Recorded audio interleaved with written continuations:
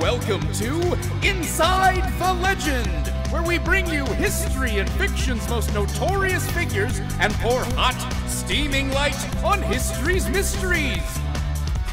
Join Chaz Hannigan and Rhonda Kokopele as they probe Inside the Legend. Good evening, and welcome to Inside the Legend. I'm your host, Chaz Hannigan. My co host, Rhonda Kokopele, could not be here tonight due to her continuing battle with full body herpes. My guest tonight is a true legend and a household name. Please welcome Medusa! Oh, hello, public. Hello, Chaz. Thank you so much for having me. Oh, darling, if my turban starts twitching, please let me know. Now, Medusa, it says here that you are a Gorgon. Indeed. Which I believe is a type of veined Italian cheese. Oh, no, no, no. I'm a figure from classical mythology. And I am Chaz Hannigan. But we've already done the introductions. So tell us, what was it like to be touched for the very first time like a virgin? Oh, you're thinking of Madonna, the singer. I'm Medusa, the Gorgon. And I've still got it, everybody. Ha! Amazing how you constantly reinvent yourself. You are truly an inspiration to celebrity cheese enthusiasts everywhere. Now, you worked for Athena, goddess of wisdom, Yes. until you had an affair with her brother Poseidon.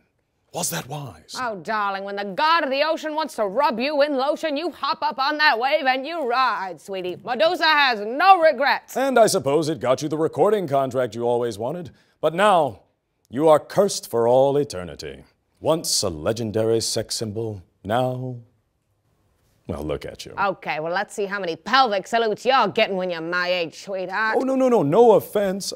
Obviously, you're trying not to let your age define you, what with all the obsessive working out and the arms like cords. But seriously, aren't you just throwing hot dogs down a hallway? Oh, can you explain that metaphor? or is it does the carpet match the drapes? oh, oh, oh, oh I know what you're getting at, and the answer is yes.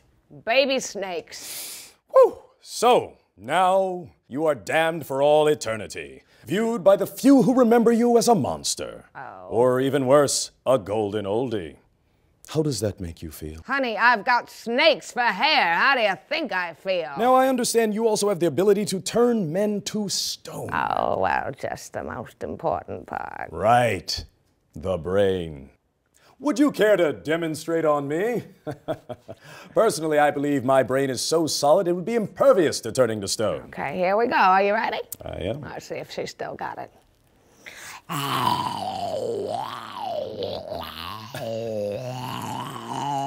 Well, there you see. The superior brain is good. Oh, oh, God. Oh, what did you do? Ah.